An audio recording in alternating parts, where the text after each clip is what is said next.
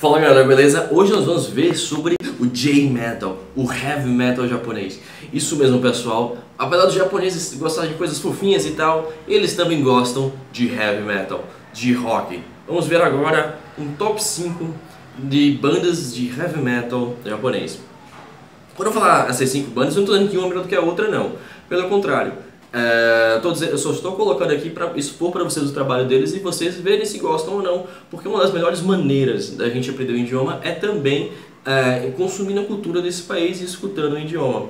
Portanto, você pode escutar é, o tipo de música que você quiser, série, anime e tal, nesse caso, música. Vamos falar também, é claro, do heavy metal porque é meu estilo de música favorito. Nessa primeira parte, nós vamos nos focar nos estilos tradicionais de heavy metal. Eu estou aqui com algumas bandas para mostrar para vocês. Vou mostrar com um tempo reduzido, só uma palhinha, para poder a gente não levar strike, tá certo? Então vamos lá. A primeira banda que eu quero falar para vocês é uma banda de symphonic metal chamada de Versalhes, ou se você quiser falar com sotaque, Versailles. Ela mistura muito bem essa questão da sinfonia, da música erudita, neoclássica com heavy metal. Então saca só a palhinha.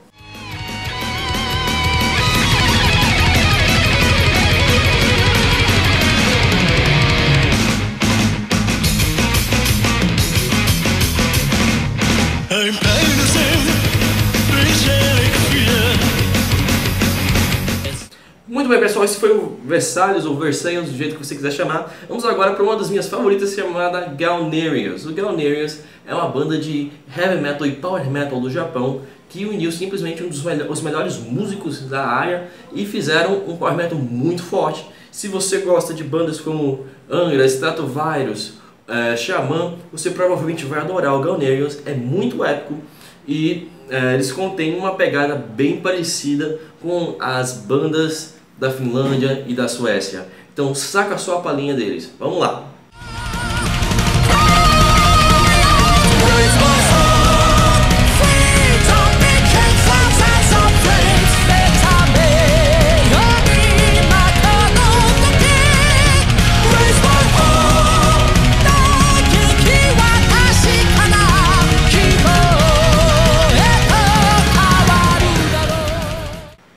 Isso aí pessoal, esse foi o Galnerius. E agora vamos para uma banda de metal progressivo muito boa, que tem um vocal muito forte, que é inclusive difícil de encontrar não só nas bandas japonesas, como também nas bandas de heavy metal em geral. É um vocal grave e muito poderoso.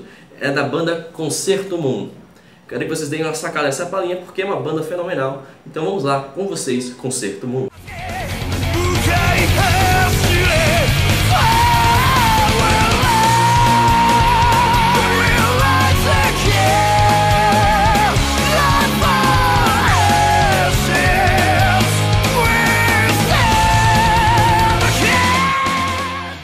E esse foi o Concerto Moon, gente. Agora, a gente não pode falar do Concerto Moon sem falar do Júpiter, ou Jupiter, se você quiser falar com sotaque de novo, né? Mas o Júpiter, é, ele tem o vocal, é, o vocal do Júpiter é o ex-vocalista do Concerto Moon.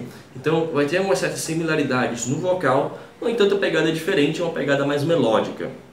Então se você gosta desse power metal mais melódico, mais bem trabalhado, com maior profundidade, como nos primeiros anos do Sonata Ártica, você vai adorar escutar o Júpiter. Então, segue a palhinha do Júpiter.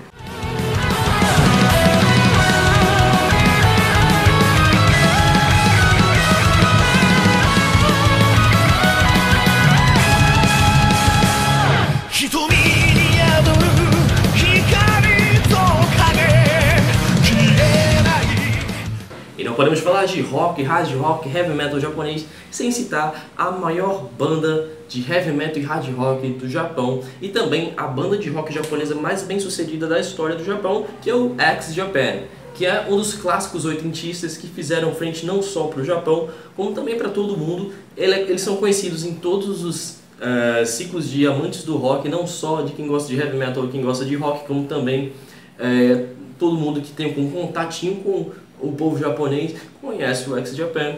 E vamos agora escutar um pouquinho deles. Eles são muito famosos por misturarem baladas com peso. Saca só isso.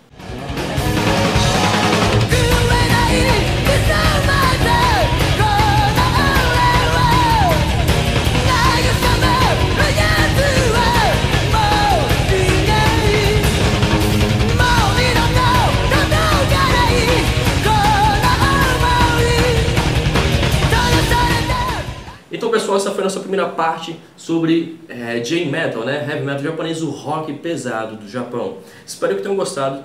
Essa primeira parte teve uma abordagem mais tradicionalista, né? De estilos mais é, é, tidos como conservadores, mas vamos fazer uma parte 2 focada nos estilos mais modernos, para você que é fã de uma música com certo peso, mas que é tem uma pegada mais moderna. Então, fiquem ligados, espero que tenham gostado. Nos vemos.